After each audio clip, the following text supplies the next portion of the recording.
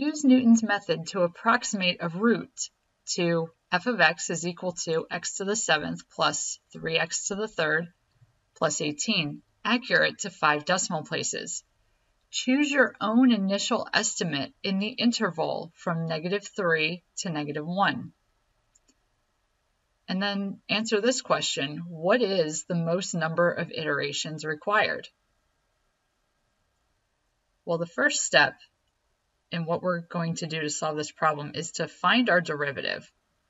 So let's do that first. f prime of x is equal to, we're going to use the power rule for each of these terms. So we have 7x to the sixth plus 9x squared, and the derivative of any constant, such as 18, is 0.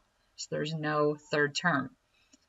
All right, and then Newton's method states that x with n plus 1 in subscript is equal to xn in subscript minus f of x with n in subscript over f prime of x with n in subscript.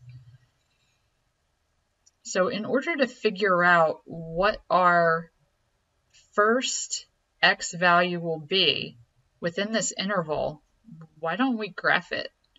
So if we graph it, we're approximating our x-intercept. Well, if we graph this function, the x-intercept falls between negative 2 and negative 1. So let's say negative 1.5 as our initial x value.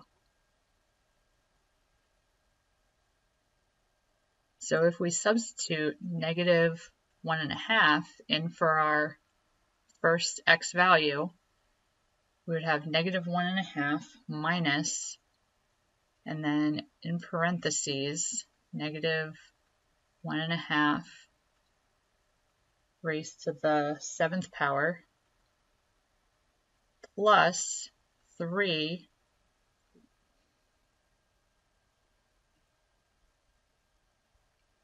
we got to get out of the exponent plus 3 negative 1 and a half raised to the third power,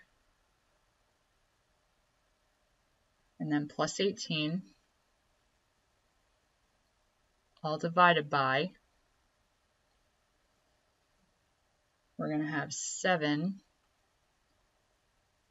times negative 1.5 raised to the sixth power, get out of the exponent, plus 9, negative 1 and a half raised to the second power, then get out of the exponent, close the parenthesis. Okay, we get negative 1 and 4 tenths, and the rest of this decimal. And now we have to do the same process, but use answer. So we have our answer minus, in parentheses, our answer raised to the seventh plus 3 times our answer raised to the third plus 18 divided by, open the parenthesis for the denominator, 7, our answer raised to the sixth power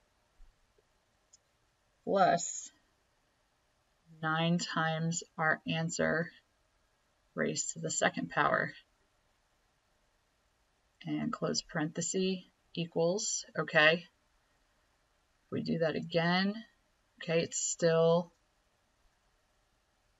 getting accurate. Okay, one, two, three, four, five. This matches so we went through one, two, three, four. We went through four of these. But this question is asking for what's the most number of iterations. The most number. If it was looking for the least, we would have our answer. But because it's looking for the most, let's actually try this process again But instead of using the graph to give us our first value, let's use one of our endpoints. Let's try using negative 3.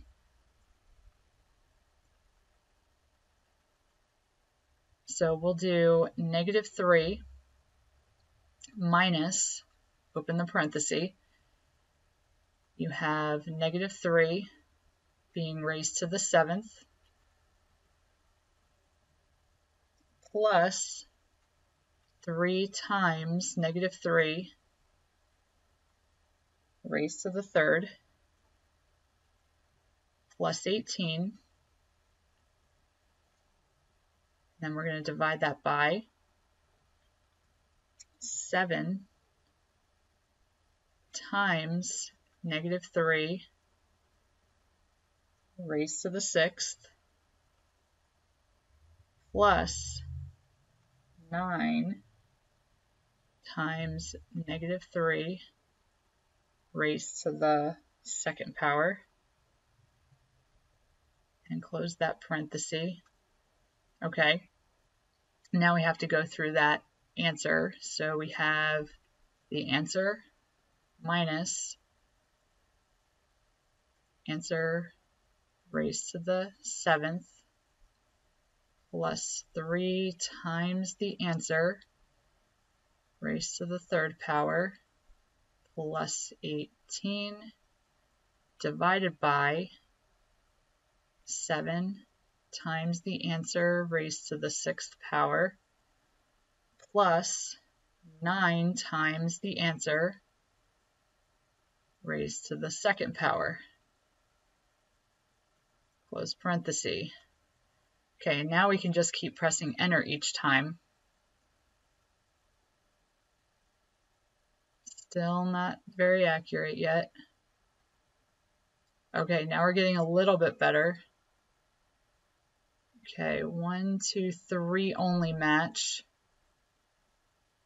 One, two, three, four, five match in this one. All right, so we had one, two, three, four, five, six, seven, eight, nine. It was nine iterations because we started here. So we're at nine iterations for the most number required, or answer choice B.